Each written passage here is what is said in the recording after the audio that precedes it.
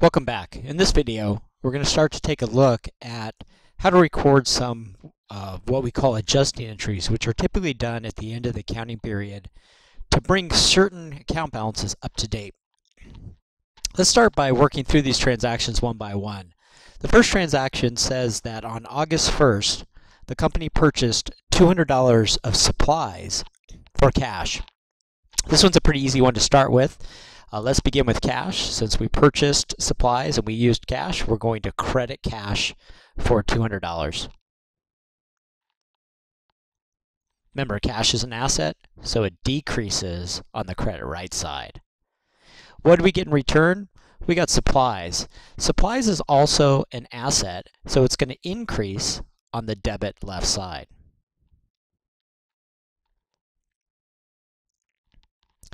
Now the reason why we increase this asset for supplies is because at the time of purchase, these supplies have yet to be used in your business.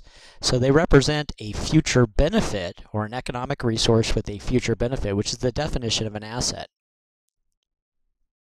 Okay, let's take a look at the second transaction. On October 1st, the company used cash to purchase a one-year fire insurance policy for $600.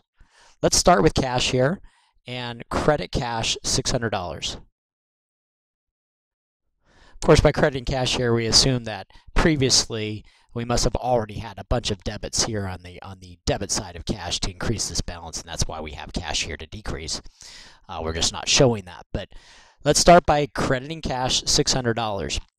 The debit side of this entry is going to go to another asset called prepaid insurance, and we're going to increase the prepaid insurance account by that same $600. Now again, the reason why we increase prepaid insurance here is because it meets the definition of an asset. At the moment, on October 1st, that we purchased this one-year fire insurance policy, it represents an economic resource with a future benefit. We have the benefit of using this insurance or benefiting from this insurance in our business over the upcoming year.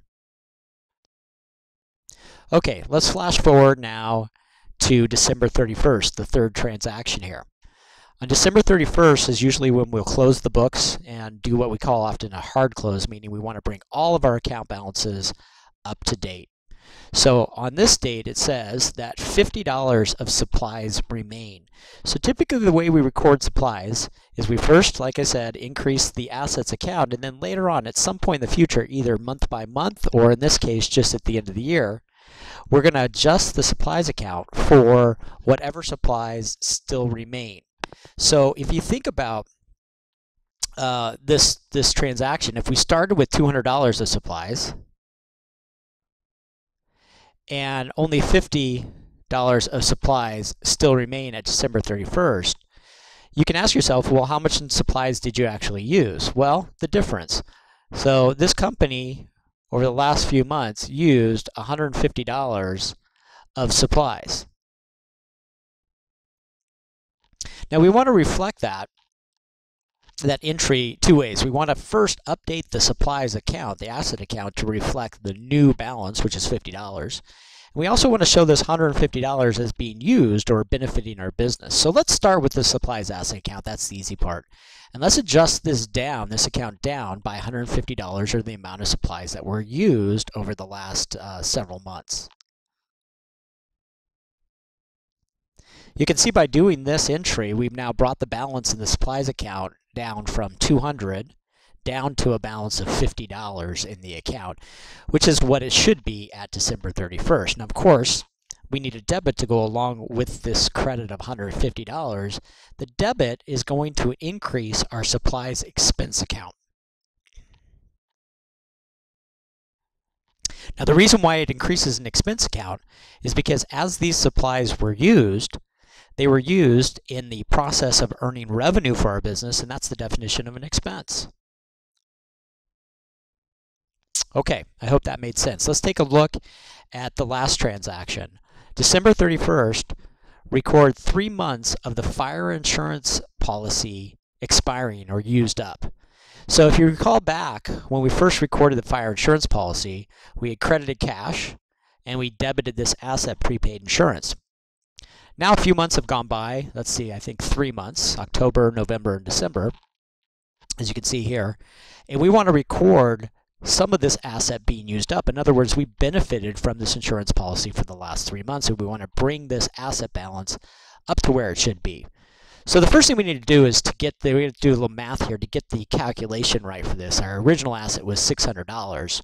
So we're going to take that $600 and if you recall, this was a one-year insurance policy. So if we take and put this into monthly amounts, in other words, we divide this $600 by 12, we get a nice $50 per month uh, in terms of, of this insurance policy benefiting us. In other words, if we had bought this insurance policy and paid monthly, we'd only pay $50 per month, but we happened to pay for it in advance, this full 600.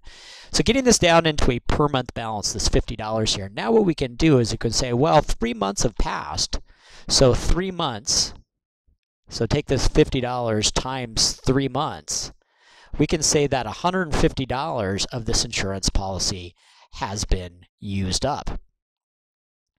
So to reflect that, what we're going to do is come under here under the asset and decline the asset, decrease it by crediting this account by $150. That's going to update our asset balance. The debit side of this entry is going to go to insurance expense. And the reason, again, just like with supplies, the reason this goes to expense is because this represents three months of benefit that we received uh, for this having this insurance policy in effect, essentially. Updating our asset balance here, you can see that by looking at the balance in our account here now, which is, let's see, $450, that would represent our balance going forward in our asset and what we still have left in terms of benefit from this insurance policy. Both of these transactions are similar in many ways, whereas the original cost starts out as an asset, and then the adjustment goes to expense over the over time. So as those assets are essentially used up or benefit our business, they become expenses to us over time. So the only thing that really changes is the names on these accounts. Uh, the adjusting process is important because it helps us adhere to the matching principle. And if you recall, the matching principle requires that we match expenses with revenues in the same accounting period. And so the timing here of recording this adjustment at right at the end of the year on December 31st helps us get these uh, expenses in the correct period to match against revenues.